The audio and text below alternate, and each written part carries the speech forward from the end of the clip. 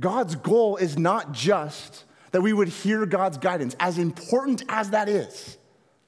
God's goal for his people is not just that we would see and appreciate God's gifts, as vital and as crucial as that is. God's goal for his people on this life's journey is to be in the presence and is to get with and is to be in fellowship and communion with the one who can and the only one who can give life and salvation to us. Because why is Jacob's goal to get to Joseph? Because Joseph is the only one Joseph is the only one who can give life and bread and salvation to this family in the midst of the famine.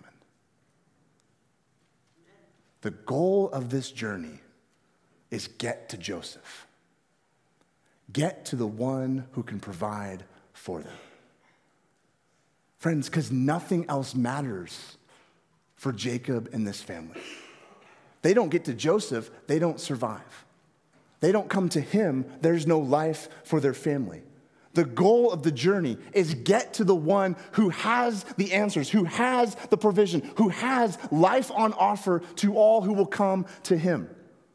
And likewise, the goal for us on our life's journey is to, by faith, come to Him, the one who can provide, the one who does provide, the one who has all of the answers and who offers His life for us.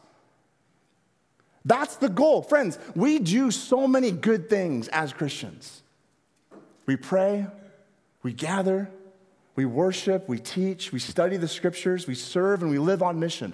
All of those things are amazing and wonderful and good, but they are a means to an end, a means to a destination of becoming more and more like Jesus and being in the presence of the one who offers us life and joy and salvation.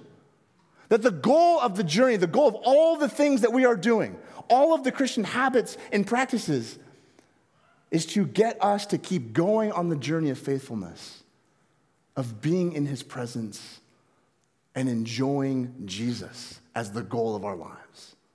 That is the goal. That is the destination we are on.